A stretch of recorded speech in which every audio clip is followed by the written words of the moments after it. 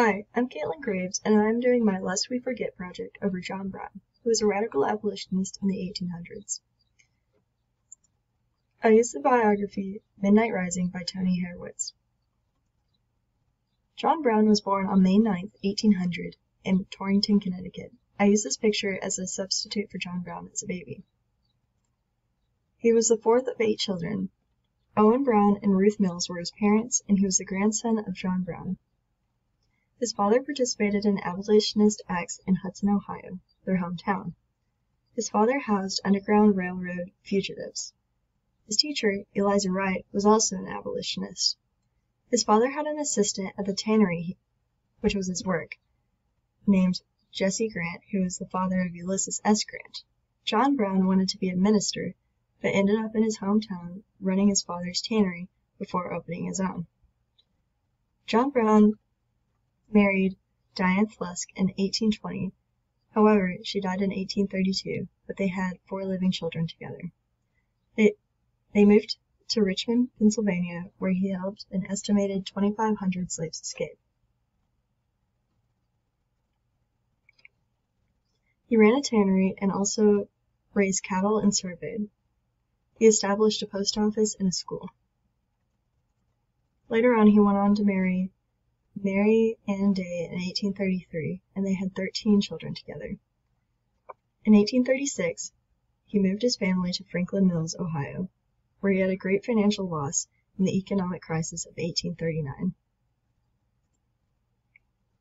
In 1846, Brown and his business partner, Simon Perkins, moved to Springfield, Massachusetts, where he founded a community invested in the anti-slavery movement. In 1846 to 1850, he belonged to the Sanford Free Church, where he heard speeches from Frederick Douglass and Sojourner Truth. Though a white gentleman, Douglass wrote in his abolitionist weekly, The North Star, soon after his Springfield visit, Brown is in sympathy a black man, and is deeply inter- interested in our cause, as though his own soul has been pierced with the iron of slavery. Douglass wrote. Brown left Springfield in 1850, but before he left, he, found, he founded a militant group to prevent slave, slaves capture and called it the, the League of Gileadites. Springfield was a transformative time for Brown. In 1855 he moved to Kansas, where he and other slaves thought they could bring Kansas into the Union as a free state. In 1856 pro-slavery activists emerged in Kansas. On May 24th to May 25th, 1856, there was the Pottawatomie Massacre, which killed five professional slave hunters. The massacre was the event that started the bloodiest period in bleeding Kansas history. Two of his sons were captured and his home was destroyed. The morning of 1856, Brown's son, Frederick, was shot and killed. There were several other little skirmishes over the summer of 1856. A group of six wealthy abolitionists offered financial support to Brown in his activities. They were called the Secret Six. One of the Secret Six members said, "Under his natural and unaffected simplicity and modesty there is an irreversible prosperity to war upon injustice and wrong." Another said, "The slave will be delivered by the shedding of blood, and the signs are multiplying that his deliverance is at hand. On May 10th of 1858, Brown held a constitutional convention in Chatham, Ontario, where he was introduced to Harriet Tubman. He introduced his plans to make Kansas the end of the Underground Railroad. In 1859, they wrote the Declaration of Liberty. Most of the delegates signed the Constitution, but very little chose to join Brown. He felt that if he started the first battle, the slaves would rise up and carry out the rebellion through the South.